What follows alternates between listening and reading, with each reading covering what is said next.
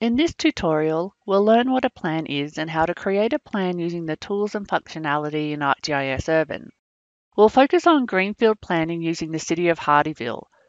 Greenfield planning is developing urban designs for previously undeveloped land in a city or rural area.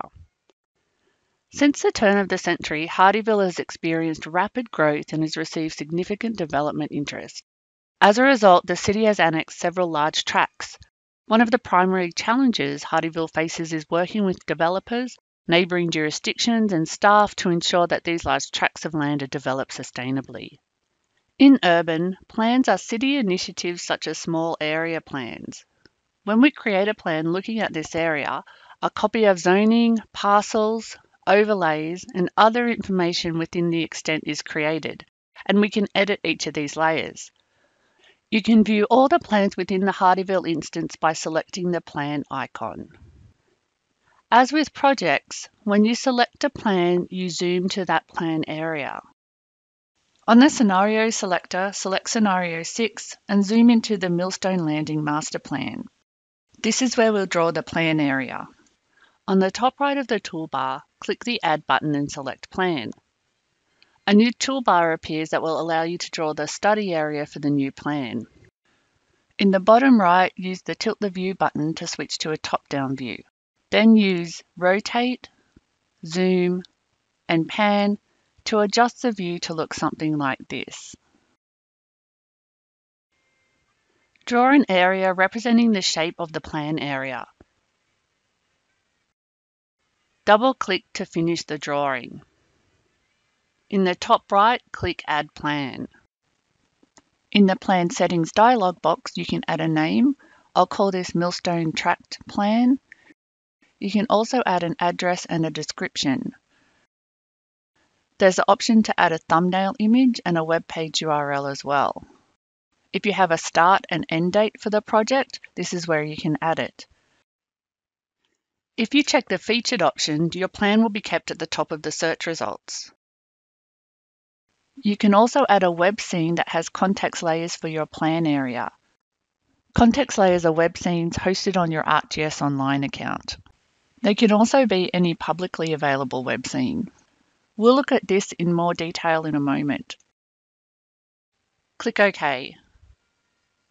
Your plan is added to the search panel and to the map view. From the plan's detail card, click the Options button and select Configure. In the Plan Settings dialog box on the General tab, we see the same information we saw earlier when we added the plan. Here, we'll focus on adding the design context layer. For this plan, we'll bring in a web scene called Millstone Context Layers. This provides a site plan we can reference when drawing parcels. To do this, click the pencil icon. Click My Content and from the drop-down menu, select ArcGIS Online. In the search box, type in Millstone Context Layers.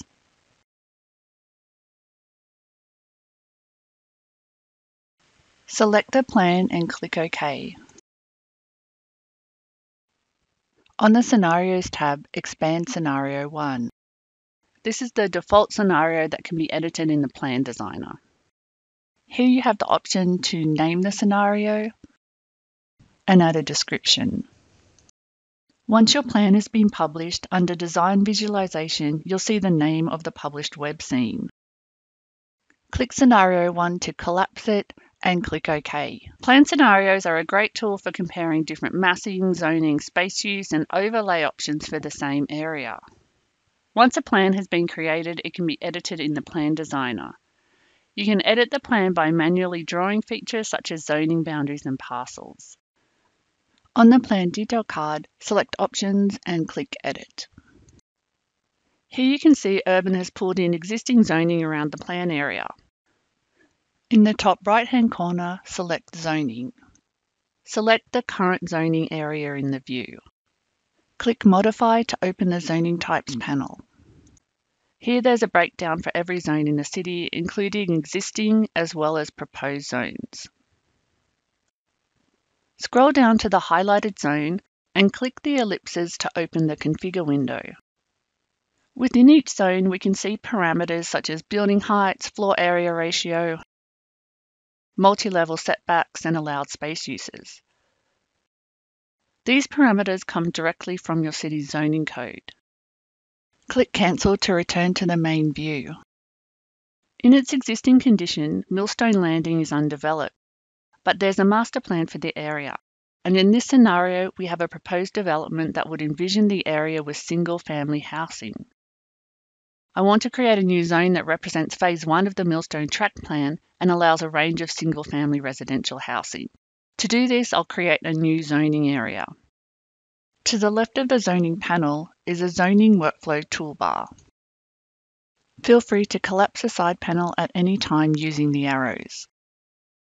On the workflow toolbar, click the split tool.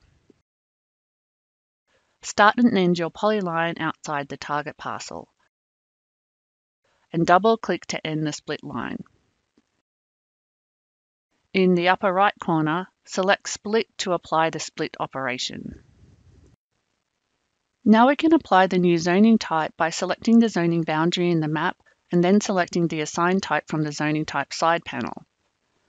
Select the proposed zone in the view. Select Modify to open the zoning types panel and scroll down to the Millstone Tract Single Family Cottage zone. Select the zoning type to apply it to the selected zone. You can also click on the zoning label to bring up the active zone's Modify dialog. Now let's draw parcels. Click the 2D button at the bottom right of your screen to view the area from above and make it easier to trace the parcels. In the upper right hand corner, click development and make sure develop is highlighted. Collapse the side panel using the arrows. On the workflow toolbar, click add parcels. The drawing interface appears. To begin, trace the larger parcel boundary and double click to finish the area. When you're finished drawing, the polygon will turn orange and you can click OK. Now let's use the split tool to split the larger area into individual parcels. Make sure the single large parcel is selected. Draw a cutting polyline splitting the parcel. In the upper right hand corner, click Split. Repeat this process for all the parcels you'd like to create.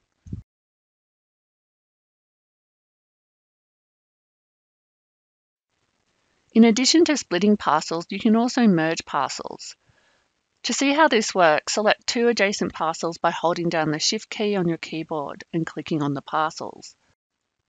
Click the Merge button. Click the blue Merge button on the Alert dialog box to confirm this action. Just note there's no undo button for this action. Once two parcels have been merged, you must split them manually using the split tool to divide them again.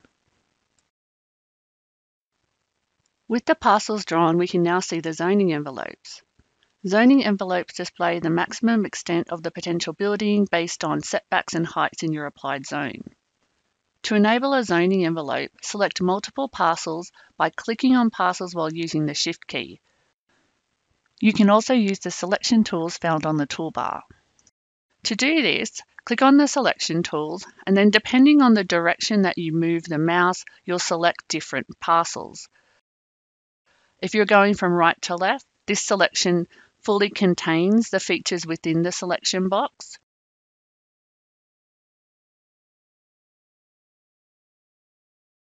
If you're going from left to right, you'll be selecting features that intersect the selection box. You can also use a line, and if you choose this option, just draw the line through the parcels that you'd like to select. Once you've selected the parcels, click Done. Expand the side panel by clicking the arrows Scroll down and check Display Zoning Envelopes. Click the 3D button at the bottom right of your screen to tilt the view and see the zoning envelopes. After zoning types are applied and parcels are created, you can apply building types to each parcel. A building type will allow you to visualize what a typical structure for that specific building type might look like. Certain building types are only allowed in their appropriate zoning areas. Use the arrows to expand the side panel. Make sure that development is selected and that develop is active. Click Modify to access the building type side panel. Scroll down to Single Family Residential. Select the building type to apply it to the selected parcels. These buildings represent plausible building forms. The form itself is guided by the zoning parameters as well as the parameters belonging to the building type. You can apply different building types by opening the building types panel and selecting a building type of your choice. There are 49 default building types available when setting up Urban with the US default template, and custom building types can be created as well. As you apply different building types, you may encounter a warning label. Buildings with a warning label will have an exclamation mark icon above the building. This tells you that the selected building is not allowed in the zone. To view the reason for the warning, select one of the building parcels in the view. In the side panel, scroll down to Building Information to read about the cause of the warning. Once you've finished viewing the warning, switch back to a building type that's allowed in the zone. Next, we'll turn off the zoning envelopes. Use the selection tool to select all of the parcels. Click Done when you're finished. In the side panel, uncheck Display Zoning Envelopes. You can also turn off the zoning envelopes by going to the hamburger button and turning off the layer in the table of contents. Now let's look at the parcel edges to make sure we have the correct edge types assigned. This will influence what setbacks are applied to the buildings. On the Parcel Editing toolbar, select the Edge Orientation tool. An Editing Parcel Edges tool panel opens. The edge assignments are displayed, and all show a default value with a side setback type. We'll make the edges facing the street set to front and street, and the rear edges will set to rear and street. Hold down the Shift key and select the edges facing the street. Set these edges to front and street.